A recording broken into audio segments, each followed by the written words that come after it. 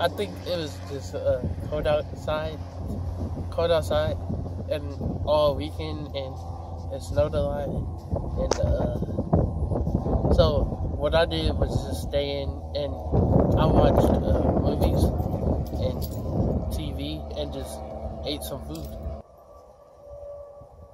What I want to do is just be outside and going on some warm walks and just being outside with friends. I just I just stayed inside and just watched some movies and that was.